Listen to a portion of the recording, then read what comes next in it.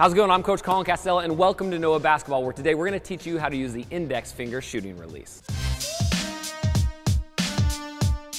All right, so your shooting release is really, really important, and the index finger is one of three options that we really, really like players to use, um, but it just kind of depends player to player which one works best. So today we're gonna break it down and teach you how to keep the ball in perfect alignment with your index finger. But before we jump into it, you're gonna wanna click the link in the top description down below and check out noahbasketball.com. Noah is a game-changing technology. It's really changing the way the world thinks about shooting instruction, and kind of it's gonna help coaches and players hit more shots and win more games. So you're gonna wanna click that link down below and check it out because it is absolutely insane. Now, when we're thinking about an index finger release, basically what we're talking about is your index or your pointer finger is going to be the last finger to touch the ball and it's going to be in the center of the ball as it moves towards the hoop.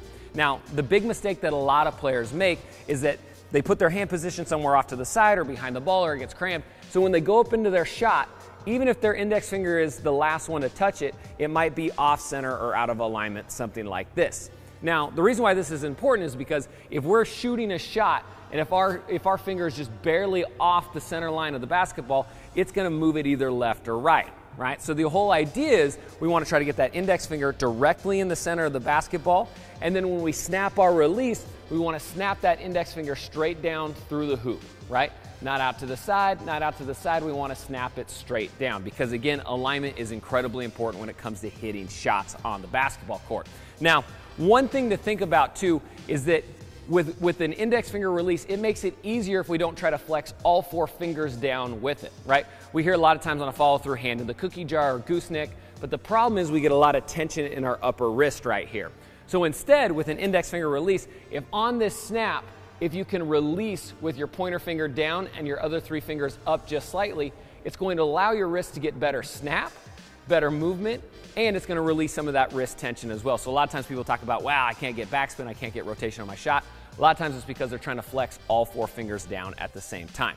So with the index finger release, one major key is, right, number one, we wanna get that index finger in the center of the basketball as early as we can on our way up. And number two, we wanna flex just our index finger down and our other three fingers up, right? You can almost think about it like like you're pinching your thumb and your index finger together. If you can do that, you're gonna be able to keep the ball straighter, and we're gonna use that index finger to keep it straight towards the hoop. All right, if this video helped you out, you're definitely gonna hit the like button, then hit the comment section down below and let me know what sort of video you wanna see next. We're making a ton of great videos for the Noah Basketball channel, so leave a comment down below, and we'll hopefully we will get to it. And if you're new, definitely want to click the top link in the description down below and check out the Noah system. It is game-changing technology that's absolutely to revolutionize your team and your players' jump shots. So click the link down below and you will not be sorry. All right, again, I'm Coach Collin Castellaw with Noah Basketball. Thanks for watching, and until next time, we'll see you later.